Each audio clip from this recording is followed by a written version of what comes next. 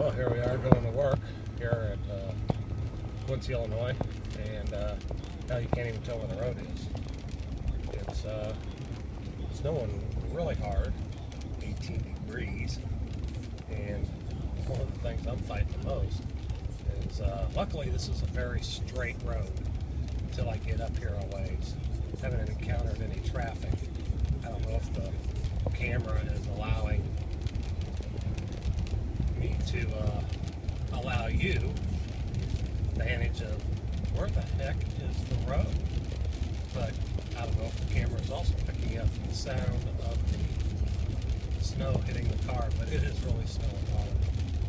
And uh, so hard that it might have might have some sleet wrapped in it from the sounds of it. But it's another beautiful day here in Quincy, Illinois on a Friday,